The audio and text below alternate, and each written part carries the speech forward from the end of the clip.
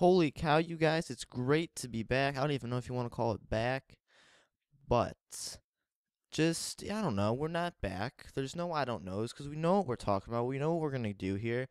And I've come today to talk about um, a revelation that I have, not that I, yeah, that I had. You know, every once in a while, it's not that you have like a revelation, but you kind of have a, you call it a reflection or a, um, like not really a setback, but just like a looking back on what you've on your progress to your deprogress. Like, you know, you're always you're trying to always move forward in a direction, and then you find yourself uh, going backwards in a way. And what I mean by backwards is is simply this. Recently, we'll go in the term of I'd say one to two months. Um, over the summer, I found that what this over the summer would be what probably like six months to eight months from now. So about that long.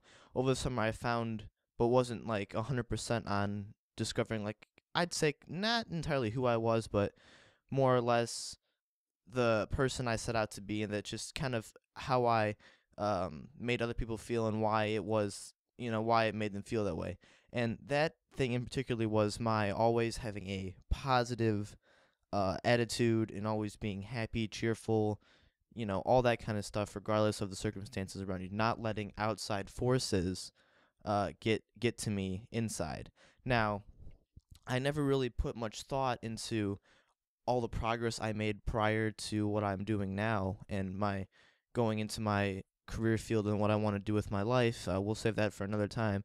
But basically, I wanted to be a development person or coach, you know, someone I can name the models of the people that I'm modeling, who I'm modeling off what I want to become off of, but I'm not going to go there now. Simply saying is that my career and my, uh, what I want to do with my life is to help other people uh, find and achieve who they want to be. You know, I'm a coach kind of thing, not a motivator, but someone who has, you know, this is the way things, you know, kind of work and this is how you go about doing it.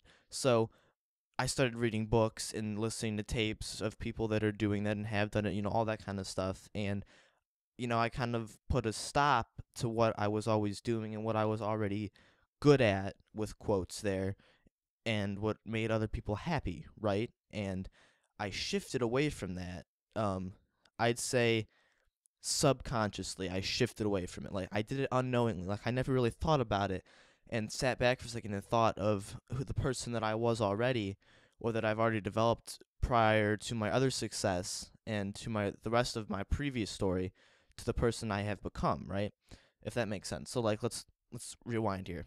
Um, so to the to to summer to that point, I had become a person um, in regards to the things that have already happened to me in life, the setbacks I've already faced, or I've circumstances I've fallen uh, at fault to, and I've already become a certain person.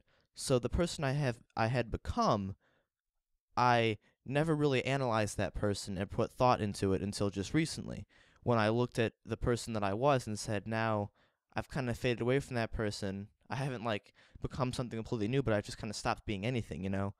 I've just kind of dulled out. I got no juice. I'm not I'm not going strong anymore. I'm not motivated, you could say, or I'm not pushing towards a a specific thing or goal or something. You know what I mean? I'm just not. I'm not.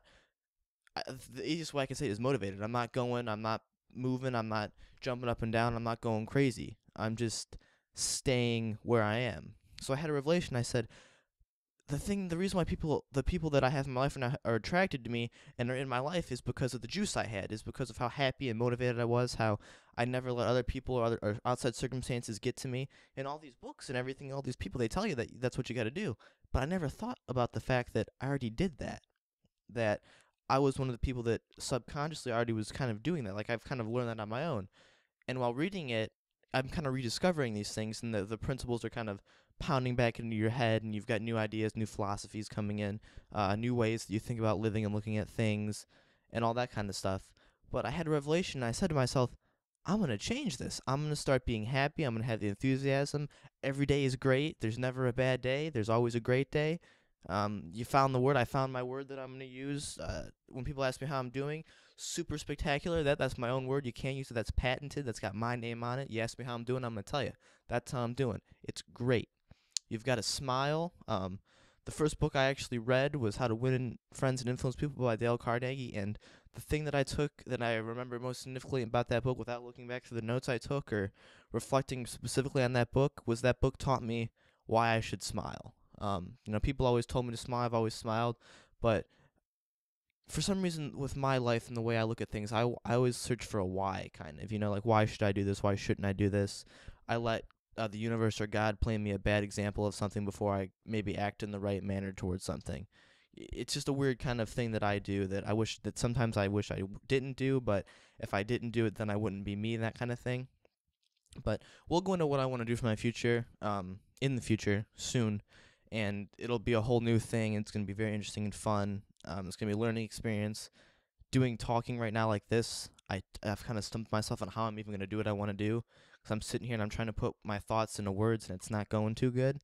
So I think we might have to type out scripts and stuff, you know? But so I had a reflection. I decided that I'm going to be a positive person. I'm going to be motivated again. I'm going to be going. I'm going to strive to do what I want to do. You know, I'm going to read the, the books. I'm going to take the notes. I'm going to try to think these things out and put them into words and into things that make sense and I'm going to do what I do best and I'm going to pursue myself and pursue my passion. I'm going to be the best at everything that I that I do like I was. Um, you know, I have to be a team player. I have to listen well again. I have to not complain or be negative or uh, blame people, only blame yourself. Look forward and not backwards. Just things that I was already kind of doing. Just keep doing them and do them again, you know, do them better in a sense. But uh, that's my recent revelation. That's my recent progress that I've made. And uh, thank you for listening.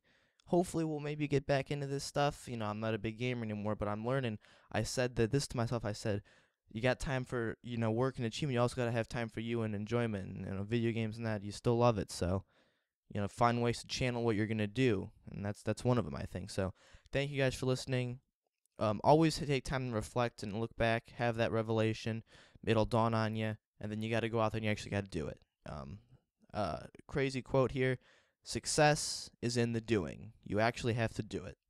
All right, action is key. You have to do it. Um, you can't just sit on it. In the past couple days since I had this, I've changed it, and I got to keep going in that direction. I plan on it. So thanks guys for listening, and I'll talk to you later.